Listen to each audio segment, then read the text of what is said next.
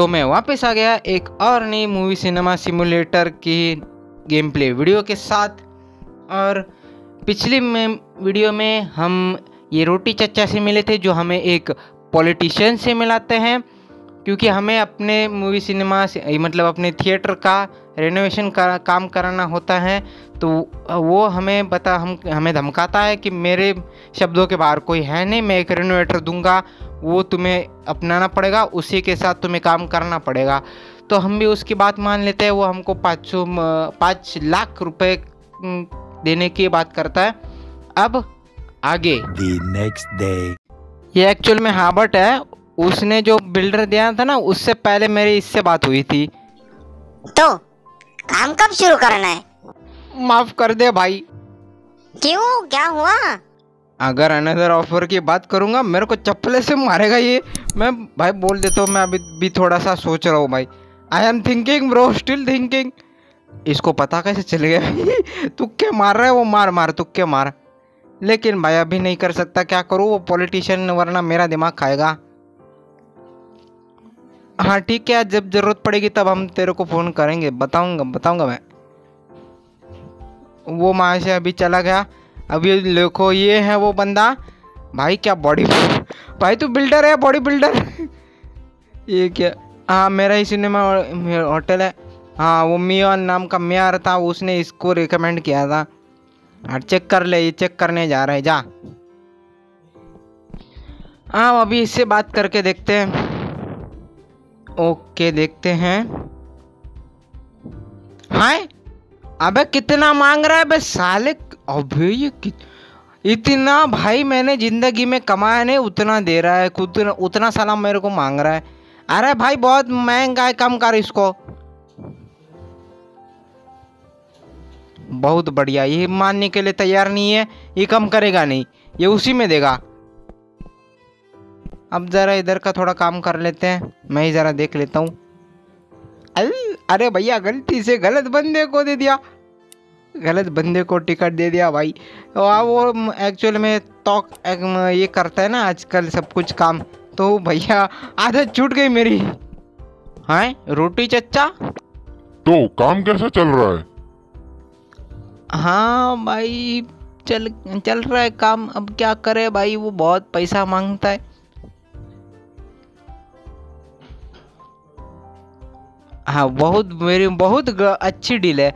पूरा का पूरा शहर बनाने का खर्चा वो मेरे एक स्टूडियो के लिए मांग रहा है। आपसे कितने लिया था ज़रा बताना? हाँ मैं भूल गया। बहुत बढ़िया। साला ने मेरे को फंसा दिया है इसके चक्कर में और खुद मुझसे पूछो कि कितना लिया तेरे से? मैं तो भूल गया भाई साहब। चलो, अभी चलते हैं यहाँ से। रात हो चुकी है बहुत सी। बहुत ज़्यादा रात हो गई। अबे, ये इधर आ गया। चलो, इससे बात करते हैं। क्यों? सब कुछ ठीक ठाक है? तू जैसा वर्कर मिले तो क्या ही बुरा होगा भाई। थोड़ा तो कम कर दे। नहीं। देख मेरे को अभी के अभी पैसा चाहिए वरना ये मैं काम नहीं करूँगा। ठीक है? जल्दी से जल्दी पैसा जमा कर ये ऑफ़र वरना रिजेक्ट हो जाएगा अभी। एक्सपायर हो जाएगा ये ऑफ़र। क्या किसी ने फाइव हंड्रेड थाउज़ेंड बोला? भाई इतना ज़्यादा? है? इसकी बात मत सुन ये एक नंबर का फ्रॉड है। वो काम वो रूम बनाने के लिए बस बीस हज़ार काफ़ी है। ये उल्लू बना रहा है तेरे को। मेरा बिज़नेस क्यों खराब कर रहा है? तू निकलना इधर से तेरे को क्या है? जहाँ पर मेरी बेइज्जती होती है मैं वहाँ पर एक सेकंड भी नहीं रुकता। मैं जा रहा हूँ यहाँ से। इस झगड़े के लिए माफ़ करना लेकिन वो बहुत ज़्यादा महँगा दे रहा था तुमको। मेरी बात मान ले मेरे को काम दे दे। इस जैसे फ्रॉड को काम देने से बेटर है मेरे को काम दे दे।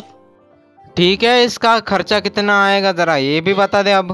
रुको मैं जरा रूम चेक करके आता हूँ फिर बताता हूँ कितना लगेगा।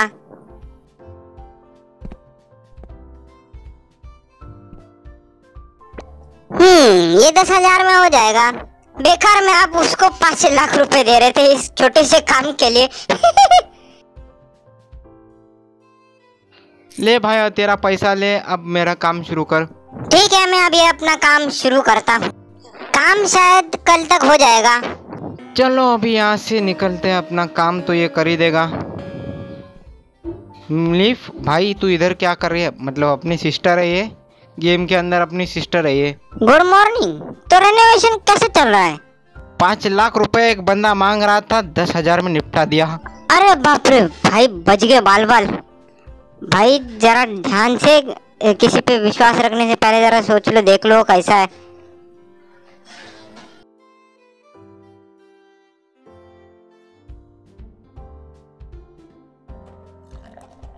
एक्सक्यूज मी बॉस रेनोवेशन का काम कंप्लीट हो चुका है। हाँ? सॉरी मुझे माफ़ कर देना, मैंने देखा नहीं, आप इस लड़की के साथ बात कर रहे थे। हेलो मैं उसकी बहन हूँ। ओ हाय मेरा नाम है हाबर्ट और मैं यहाँ का रेनोवेटर हूँ। आपसे मिलकर बहुत अच्छा लगा। हे बॉस तुमने मुझे बताया नहीं तुम्हारी बहन इतनी ज़्यादा सुंदर है। और मेरे कपड़े थोड़े से गंदे और मुझे थोड़ा ब्रश भी करके आना चाहिए था। ये मैं आ जाऊँ क्या? अपनी पर। मेरा मुँह से निकल गई मेरी जबान टूट गई यार तो मैंने कहा था कि रेनोवेशन का काम कंप्लीट करूँगा कंप्लीट हो गया। तो मुझे अभी यहाँ से चलना चाहिए। कुछ और मदद लगे तो याद कर लेना। चलो जरा घूम के आते हैं आए। अबे ये क्या चल रहा है? पुराना रेनोवेटर नया रेनोवेटर हाँ बट क्या बात कर रहा है इससे? ओ कल का निठल्ला नल्ला रेनोवेटर तुम्हें क्या लगता है? तुम मुझसे मेरा बिज़नेस छीन लोगे और वन पीस में ऐसे आराम से घर जा सकोगे? कम से कम तेरे जैसा चिटर नहीं हूँ मैं। वो काम बंद कर वरना तुझे बंद कर दूँगा अब मैं। समझ में आया? हाँ भाई जो बात करनी है मेरे से कर उससे क्या बोलता है? क्या बे भिखारी सिनेमा थिएटर बनाने की तो तेरी औकात है नहीं और मुझसे लड़ने आया है?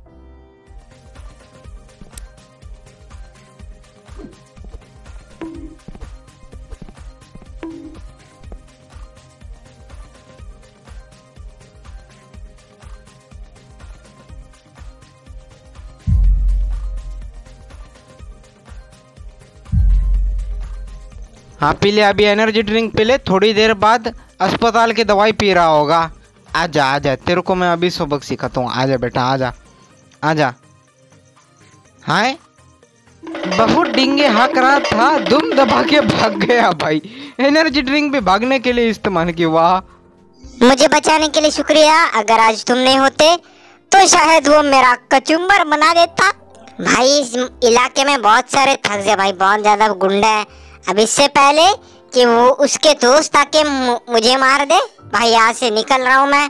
वापिस आके मिलिप थोड़ा डांटती है लड़ाई झगड़ा करने के लिए लेकिन मान जाती है। तो इसी तरह से अपना सेकंड चैप्टर कंप्लीट हो गया। चलो जरा सीसीटीवी कैमरा देखते हैं कोई बचा तो नहीं अभी अंदर। बाप रे ये कौन है? अरे कौन है भाई तू? भाई ये तो वही कृपया आदमी है। संभाल के रहना। मेरी नज़र हमेशा तुम पर बनी रहेगी। अबे, वो क्या था? साला, वो जो आदमी हमको ऐसे हाथ हिलाते हुए दिखता था ना, सीसीटीवी कैमरा के अंदर, भाई, वो मेरे मुँह के सामने। और रोटी चच्चा कैसे हो भाई आज? हाँ रेनोवेशन के बारे में पूछ रहे हैं। हाँ तू आ ले, भाई तुम मेरे नमक, मेरे जले पे नमक छिड़कने आ गया।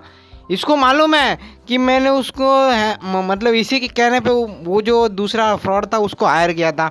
मज़े लेने आया है कि बेटा, पाँच लाख में बना लिया थिएटर अभी मिली, वापस से आती है और वो हमको बताती है कि हाँ उसकी सेवेंटी परसेंट मूवी बन चुकी है। भाई, अलग चीज़ है भाई। एक्ट्रेस भी है, खुद एक्ट्रेस है, भाई को सिनेमा थिएटर का ओनर बना दिया। बहुत बढ़िया। वो बोलती है कि यहाँ पर लोगों को थोड़ी दिक्कत होती है खाने पीने में। यहाँ पर एक कैफेटेरिया टाइप कुछ इलाका बना दो। तो हम भी तैयार हो जाते हैं, ठीक है? ये बोलते हैं, उसी कंस्ट्रक्शन वाले को बुलाओ जिसने ये चौथा सिनेमा हॉल बनाया था। ठीक है भैया, मैं चल जाता हूँ, चले जाता हूँ सीधा उसी सिनेमा हॉल बनाने वाले कंस्ट्रक्शनिस्ट के पास। क्या बोल रहा हूँ? रेनोवेटर के पास। तो रेनोवेटर अपना आ जाता है और बोलता है कि हाँ यहाँ पर मामला पानी हो जाएगा सब कुछ बन जाएगा। मैं पूछता हूँ, भाई, कितना लगेगा? कितना जेब को खर्चा पड़ेगा? मेरी जेब कितनी कटने वाली है? वो मेरे को बोलता है, भाई, पंद्रह हज़ार दे दे, मैं बना देता हूँ। मैं इसको पैसे दे देता हूँ और ये अपना काम भी इधर स्टार्ट कर देता है वैसे। चलो भाई, वो रेनोवेटर गया अपने घर, अब मैं चलता हूँ अपने घर। ये क्या चल रहा है? लगता है हाथ में डंडा लेना पड़ेगा। अरे चचा मेरे को धके धके लो मत यार। ज़रा देखे तो। अरे ये आ रहा है मुझे लगता है इसी के इंतज़ार में इधर बैठे। ज़रा देखे उधर चल क्या रहा है इनका। तो ये कोई और ही गुंडे होते हैं जो भाई हमारे रेनोवेटर को धमकाने आए होते हैं। अब ये कौन थे क्या थे वो तो बाद में पता चलेगा लेकिन ये बड़े अजीब है। एक मेरे मुँह पे पत्थर फेंक रहा है दूसरा बैल की तरफ़ मारने के लिए दौड़ रहा है बहुत बढ़िया। अबे पत्थर फेंकने के बजाय सीधा मेरे सर पे मार देना तो क्या कर रहा है? वो देखो दोनों एनर्जी ड्रिंक पी रहे। भाई मेरे को भी तो ऐसे एनर्जी ड्रिंक यार। ये ले आखिरी फटका। मैं मरी जाऊँगा भगवान। इससे पूछने पे कि किसने भेजा? ये कहता है मिस्टर मियान ने भेजा हमें इसे मारने के लिए। ये वही मेयर था जिससे हमें रोटी चचा ने मिलवाया था और उसी ने ये रेनोवेटर दिया था फ्रॉड रेनोवेटर पाँच लाख एलपी में काम करवाने वाला। उसी ने इसको मारने के लिए भेजा था। अब ये हार्वर्ड भाई डर जाता है कि भाई मेरा तो कुछ खैर होगी नहीं अब पहली बार तूने बचाया, फिर भी तूने भी बचाया, तीसरी बार मैं बचूँगा, ना बचूँगा, मैं बहुत डर गया। लेकिन तो आ जाता है अपना बंदा। भाई, उसका नाम भी बड़ा अजीब है। वो बताता है कि हाँ भाई, मैं उनको संभालूँगा, तू डर मत, तू चिंता मत कर, तू आराम से जा, मैं उनको संभाल लूँगा भाई, इसने पहले चैप्टर में हमारी मदद की थी। अगर तुमने वो वीडियो नहीं देखी, ऊपर आई बटन पे लिंक दे रहा हो, जाके देख लेना। तो उम्मीद है दोस्तों, आपको आज की वीडियो अच्छी लगी होगी। अगर आपको ये वीडियो ज़रा भी अच्छी लगी तो इस वीडियो को लाइक कीजिए, अपने दोस्तों के साथ शेयर कीजिए। मैं मिलूँगा आपसे ऐसी किसी मज़ेदार, धमाकेदार वीडियो में। तब तक के लिए अलविदा।